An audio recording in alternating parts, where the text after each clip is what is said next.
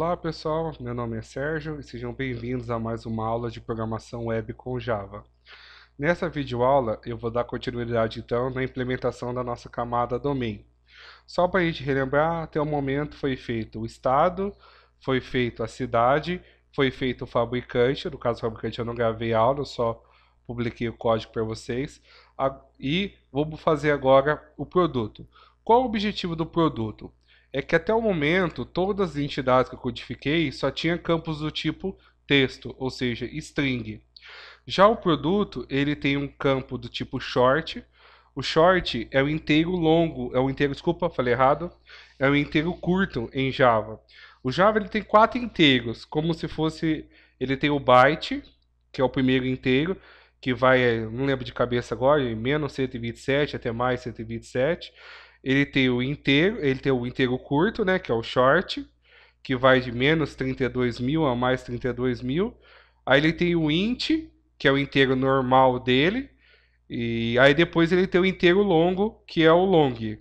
Então vai ser um exemplo mostrando como fazer com short. E o big decimal aqui, no caso, representando os valores reais.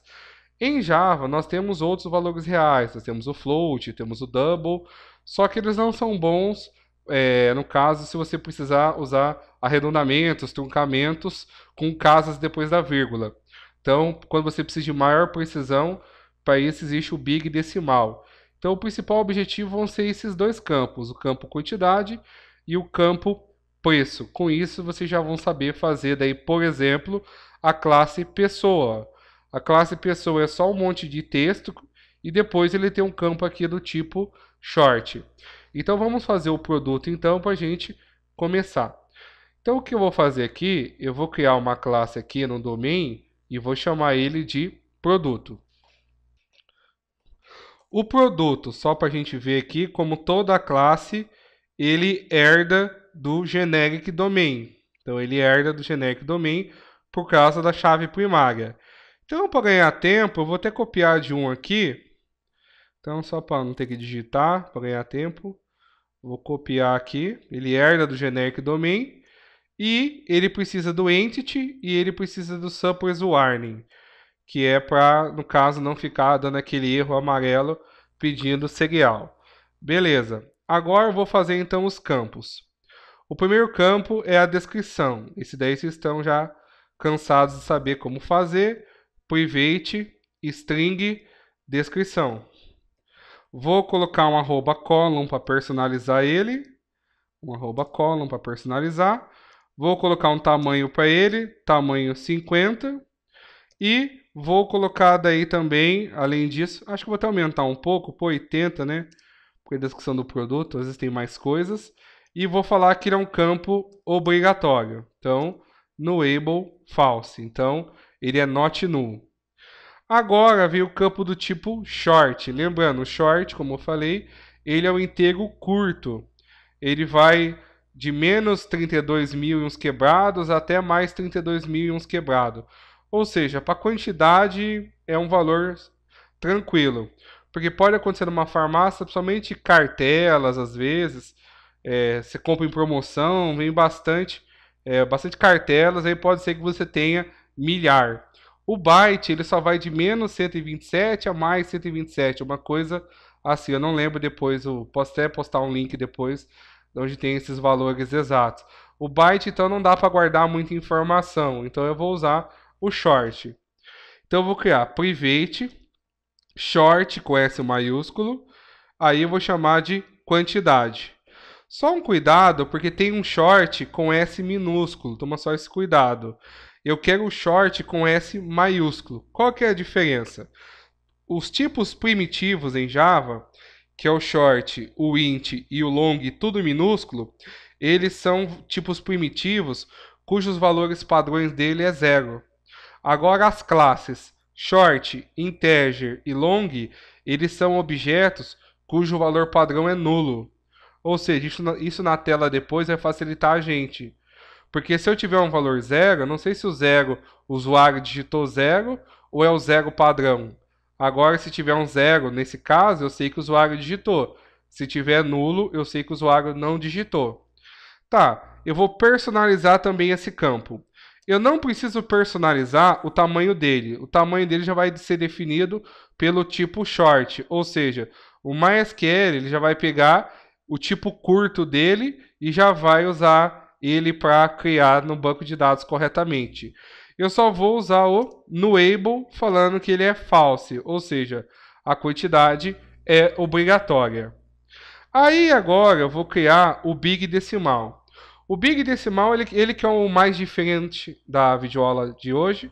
É, no caso, como eu falei para vocês, eu tenho o tipo float, eu tenho o tipo double, que são valores reais. Mas quando você precisa, por exemplo, você dá aquelas divisão que não dá exata, que dá aquelas dízimas gigantes, aí você tem que fazer arredondamentos, truncamentos. Então, para esse caso, eles criaram um Big Decimal. O Big Decimal é um valor real que é interessante para valores monetários. Então ele tem, você fala quantas casas você quer depois da vírgula, ele já controla toda a parte de truncamento, arredondamento, o que você quiser. Então eu vou criar aqui private. O único detalhe que o big decimal eu tenho que importar ele. Então eu vou apertar B maiúsculo, Ctrl espaço. Aí eu vou pegar o big decimal do Java Math. Então ele já tem aqui, ó, big decimal e vou chamar de preço. Aí eu vou personalizar esse campo. Vou personalizar ele, o column. Ele precisa ser personalizado três coisas. Uma, se ele é nulo ou não, né? Então eu vou falar que ele é obrigatório. No able false. Aí eu preciso personalizar o precision e preciso personalizar o scale. O que, que é o precision? Ele funciona assim, no caso. Você vai, por exemplo, vamos pegar o caso de drogaria. No caso de drogaria, o produto mais caro, geralmente, de ir numa drogaria, são os remédios que tratam de é, tratamento de câncer, coquetéis para tratamento de AIDS, essas coisas. São os remédios mais caros, que podem custar alguns milhares de reais. Mas, por exemplo, eu nunca vi um produto que custasse é, 15 mil reais, 12 mil reais, pelo menos eu desconheço. Se alguém conhecer depois, comenta aí no vídeo para mim, para eu saber. Os produtos mais caros que eu vi custavam 1.300, 1.700 reais uma caixa, por exemplo. Então, é um valor bem alto.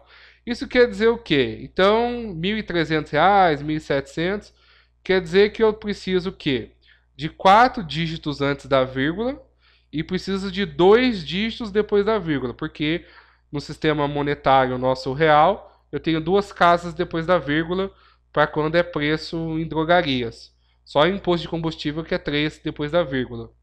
Então eu preciso, então, para representar um número, por exemplo, R$ 1.700, eu preciso de quatro dígitos antes da vírgula e dois dígitos depois da vírgula. Então eu preciso de seis dígitos no total, quatro antes, dois depois. Então eu venho aqui no Precision e coloco 6 que, que isso quer dizer? Quer dizer que o meu número é formado por seis dígitos. Aí eu venho aqui e coloco o scale. O scale funciona assim: desses seis dígitos, desses seis dígitos, quantos são depois da vírgula? Então, no meu caso, o valor real é 2. Então eu tenho seis dígitos, sendo que dois são depois da vírgula, ou seja, sobra 4. Então eu vou conseguir representar de zero reais até R$ 9.999,99. 10 mil reais eu não conseguiria representar, porque 10 mil reais eu precisaria de 7 dígitos, 5 antes e 2 depois. Então, nesse caso, já está bom. R$ 9.999,99 engloba todo tipo de produto que possa aparecer. Então, até o produto mais caro, como eu falei, não tem nenhum produto sim de 15, 20 mil reais numa drogaria comum. Então, só frisando, é seis dígitos, sendo que dois são depois da vírgula. Tá, então a principal diferença é esse para o Big Decimal. E agora eu vou criar a chave estrangeira. A chave estrangeira é o fabricante. A chave estrangeira eu já mostrei como fazer na videoaula passada. Então eu vou criar um objeto do tipo fabricante. E vou colocar o arroba many1. E vou colocar o join column. Lembrando que o join column vai ser colocado porque eu quero falar que ele é uma composição, ou seja, ele é obrigatório. Então, vou colocar no able falsa no nosso projeto. Então, agora já dá para gerar. Então, o que, que eu vou fazer? Eu vou ter que criar get set, né? Aí você cria como você quiser, um a um, ou você usa aquele gerador automático que eu já ensinei na videoaula passada. Então, criei os gets and sets. Aí eu vou adicionar o produto no Hibernate CFG. Então vou vir aqui, vou adicionar o produto aqui. É só adicionar o produto. Não esqueçam de adicionar no Hibernate CFG. Se você fizer certo a classe e não adicionar no Hibernate CFG, ele não gera. E aí eu vou rodar aquela classe de teste nossa que cria a fábrica de sessão. Só para a gente ver a criação das nossas tabelas. Então tá aqui, ó. Ele dropou a cidade, dropou o estado, dropou o fabricante, dropou o produto. Aí ele criou a cidade, criou o estado, criou o fabricante, criou o produto aqui, ó, com código BigInt. O BigInt é o inteiro longo, então ele é o, o long. Descrição varchar 80, não nulo. Preço, ó, decimal 6,2, ou seja, ó, ele gerou certinho não nulo também, porque é obrigatório. Quantidade small int. Small int é o inteiro curto do MySQL. Também não nulo. Aí a chave estrangeira, aí ele definiu a chave primária e por fim ele fez a chave estrangeira de cidade e a chave estrangeira do produto. Só para ter certeza, você pode vir aqui no MySQL e dar um refresh aqui e ver se ele criou. Tá aqui, ó. A tabela produto tá aqui, ele gerou certinho o que. Deixa eu só aumentar um pouco aqui. Aí, ó, ele gerou certinho para nós aí. Ou você dá um alter para ver o, qual é a estrutura dela. Então ele gerou certinho do que eu precisava. Então com isso, pessoal, você já sabe basicamente gerar boa parte. Já dá agora para gerar o pessoa, já dá para gerar, porque o pessoa é tudo texto. Ele só tem um short, então já dá para gerar ele. O cliente ainda não dá para gerar, porque eu vou mostrar como que faz data e como que faz valor booleano. O usuário também falta booleano e caractere, não mostrei. O funcionário não dá, deixa eu ver, o venda também não. Ah, então na verdade só dá para criar o pessoa por enquanto. Aí então o pessoa fica como desafio para vocês. E aí na próxima videoaula eu vou escolher alguma entidade aqui que tenha data e valor booleano. E com isso aí já fica como exemplo como que eu trabalho com datas e valores booleanos para criar entidades. Aí também no próximo vídeo aula eu já posto também o código da pessoa para vocês.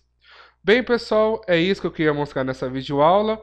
Não esqueça de ajudar o canal compartilhando e curtindo a aula e o canal. A gente se vê na próxima. Abraços, até mais.